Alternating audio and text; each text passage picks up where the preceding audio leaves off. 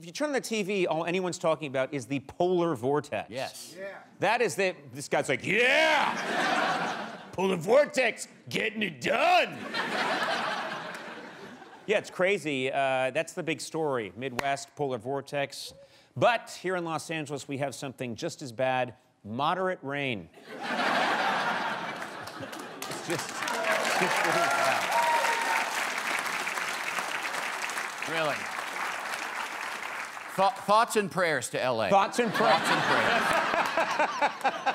It does feel that way Yeah. in LA. You grew up in the Midwest. I grew up on the East Coast. It rained all the time. Absolutely. Here in LA, when it rains, all the traffic lights stop working.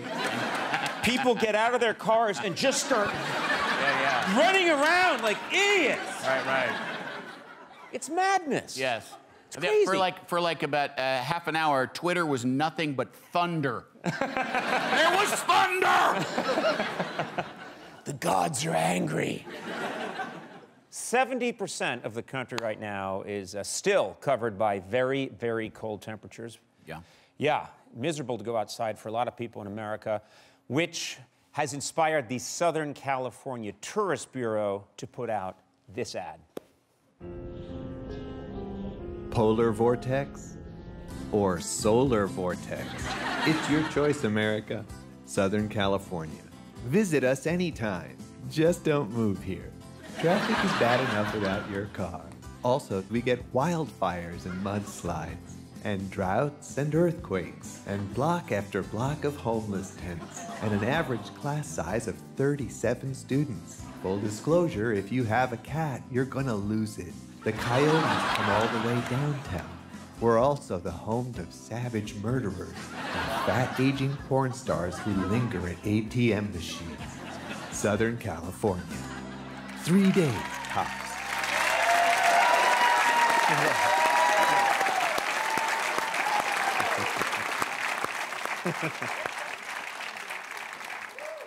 I love that motto. Three days tops. It stops. You'll have a good Yep. time and then get out of here. Super Bowl. Anyone excited about the Super Bowl this weekend? I brought it up to the crowd last night. They didn't care. LA is in the Super Bowl. You, okay. It well, it took a day to get the news out. Yeah. This Yeah. town does not know it has a super team in the Super Bowl. I know. It's well, crazy. They, they, we got the Real Housewives, so the excitement's always Yeah, there. exactly, so, yeah. You know. Well, uh, you know, a lot of people watch for the halftime show, right? Let's be honest. This is the weird story this year. They couldn't get anyone to play the Super Bowl halftime show this year. They really did have a very hard time. And then finally they got Maroon 5. yeah, yeah. Yeah. Yeah, apparently uh, Maroon 1 through 4 said no. now you could wonder was that joke worth it or not?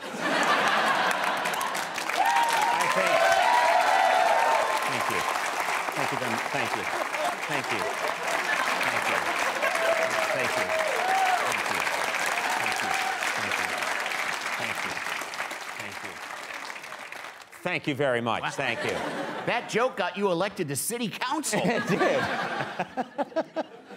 uh, you know that Super Bowl ads cost the most ever this year?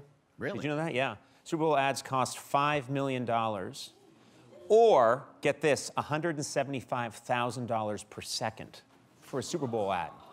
To put that in perspective, a 30 second commercial on this show, my show, The Conan Show, costs $200 plus I give you a ride to the airport. That- that's the difference.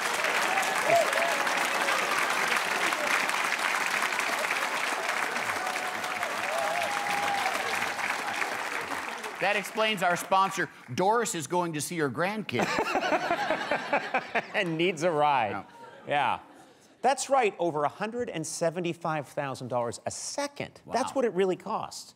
So get this, this kind of makes sense. In an effort to save money, a bunch of companies are airing commercials that are only a couple of seconds long.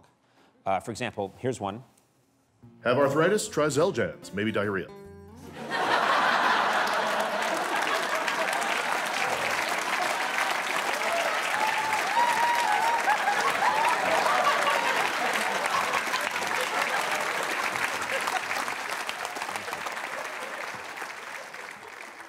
I know a lot of people are doing that. Uh, in fact, here's another one. Better ingredients, better pizza, Papa John's. Maybe diarrhea.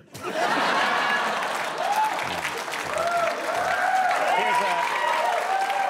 Yeah. Here's another one. Who has diarrhea?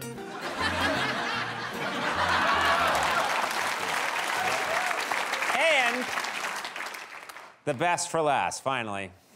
Diarrhea.